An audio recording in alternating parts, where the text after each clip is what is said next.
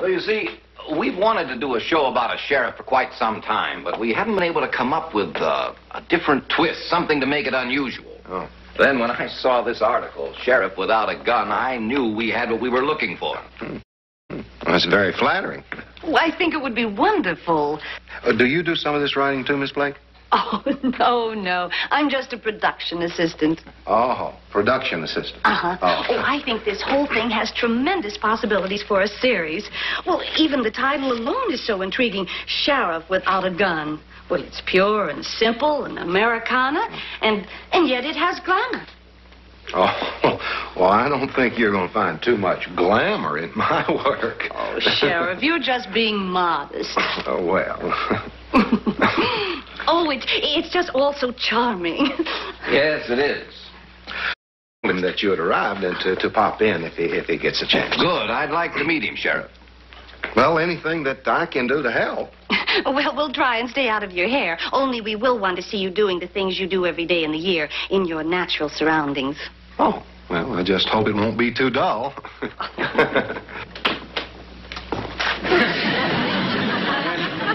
Barn? Picked up a rumor about an escaped criminal. Thought there might be fireworks. Barn, this is Mr. Harvey and Miss Blake about that uh, television show. Oh, yes. You did mention they had arrived, Mr. Harvey. Miss Blake? Oh, you must be Deputy Fies. Fife. F-I-F-E. That was a misprint in that article. Make a note of that, Pat. F-I-F-E. Bernard. Oh, why don't, why don't we all sit down? No point in standing around the middle of the room. Yeah. Is this your card, ma'am? Yes, it is. Well, congratulations. You're our one millionth customer.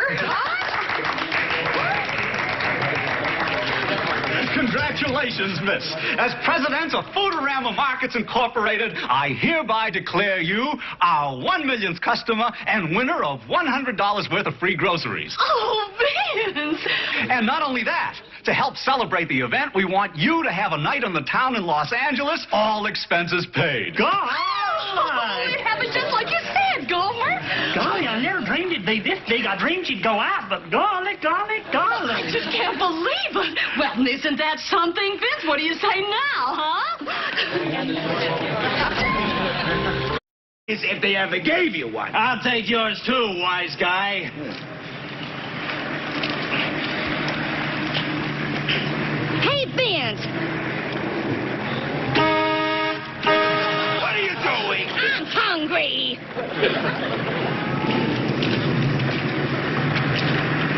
Bacon, lettuce, and tomato sandwiches.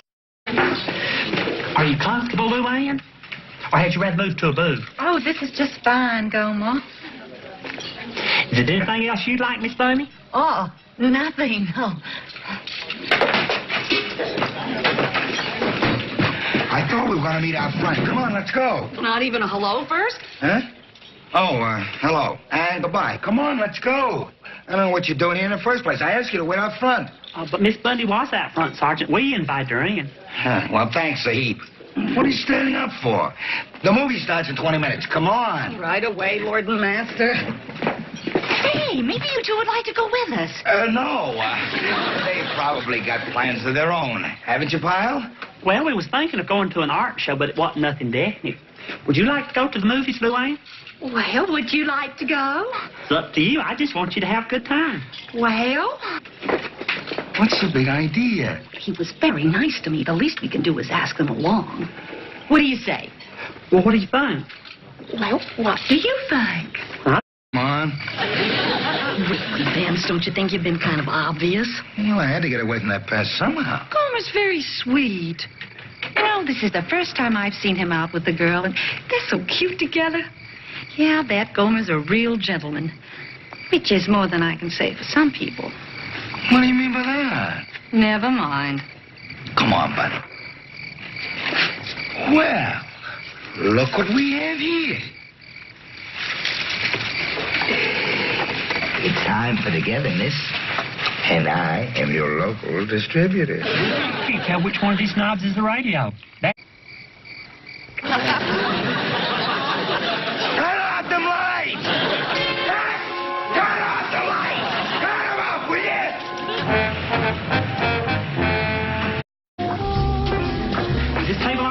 Okay with me, killer. Sure is a nice crowd tonight. What's the matter? Your coat. Was something good on it? No, I, I was just going to hit you off with it. Huh? Oh. Oh, yeah.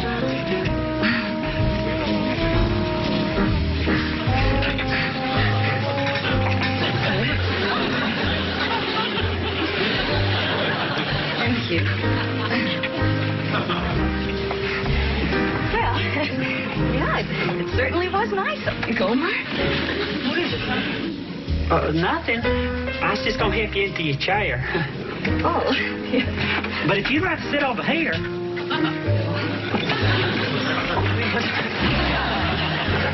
Thank you. Well, I'm sure we're going to have a lovely evening, Gomer. A lovely, lovely.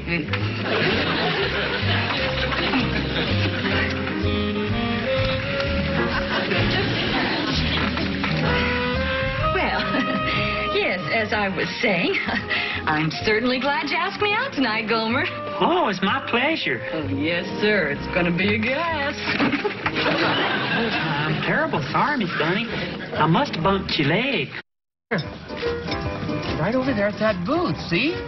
She's all alone. Hubba, hubba.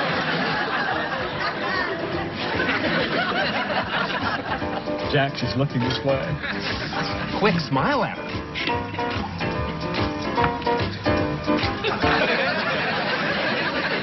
She's smiling back at me. What should I do? Say hello. Hello. Hello. Hello. Hello.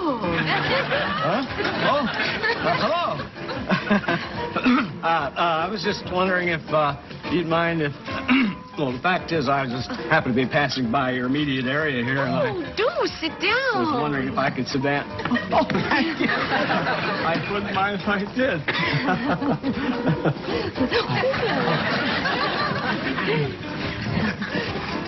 I'm Martha. I'm Furley. Or Ralph. Actually, I'm Ralph and Furley. Oh, Have the nicest eyes. Oh. well, I try to take good care of them. Forever. Oh, Ralph, you're so romantic.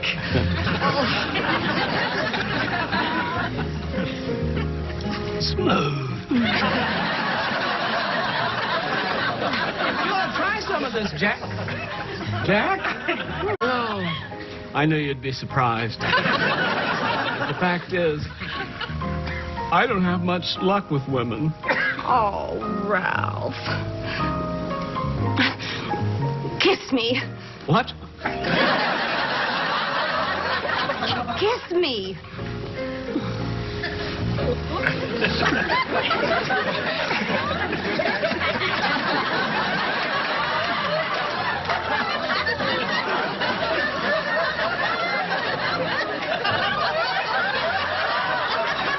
It's no good. Give me a chance. It takes me a while to get started. No, Ralph. It's not you. It's Howard. Howard. I can't.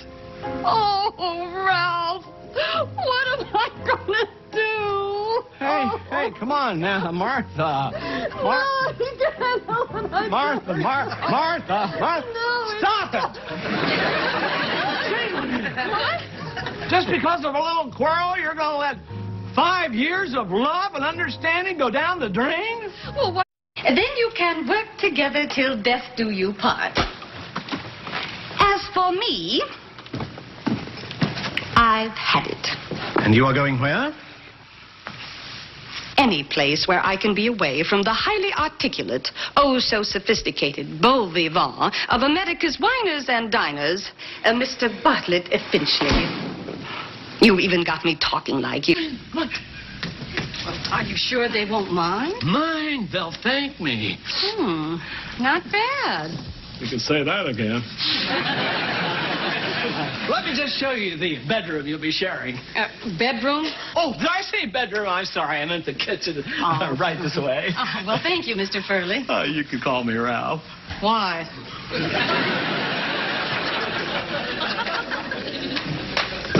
Jack? Well, it's very nice, but I'm not sure about sharing an apartment. Well, you've got to have a place, and there's nothing else available. Well, I don't know. It's been so hard making decisions since my husband died. Oh, you're a widow? I mean, I mean what a shame. Poor Charlie. It was his heart. He went like that during the night. And it killed him?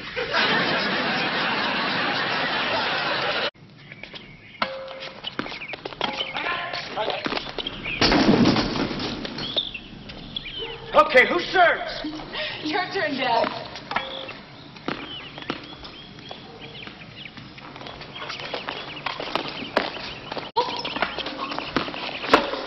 It's long, it's to the fence, it's to the wall. It's gone. Yeah. Hit the ball easier, son. You don't have to kill it. Uh, maybe we should go in now. No. We will at least finish this set. I'm having the same caterer for your shower that we had at our Christmas party last year. Oh, that'd be great. They're wonderful. Well, if I were you, I'd worry less about the shower and more about Rick's bachelor party. beat around a bush, you know.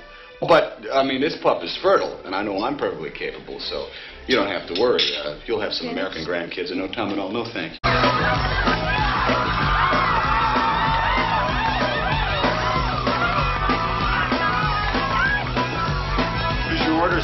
You can help yourselves. Is